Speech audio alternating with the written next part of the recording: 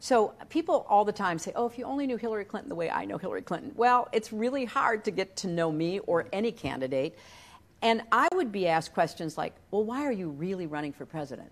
I didn't hear Marco Rubio or Ted Cruz or Bernie Sanders ask that question as though there was something hidden or, or, or so unusual about a woman stepping forward and saying, you know, I think I could be a good president. I hope you'll support me.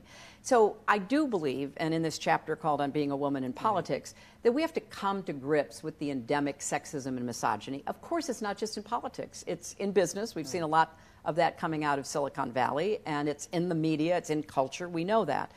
But in politics in particular, where um, now some of my former colleagues and friends in the Senate are being attacked, and they're being attacked in very uh, sexist ways. You know, Elizabeth Warren told to you know sit down and basically shut up, don't persist. Kamala Harris being attacked. Kirsten Gillibrand talks about being manhandled by fellow members of Congress in the gym. You know, I want to blow this up so that people have to confront it, and then maybe whoever comes next won't have to face it as much.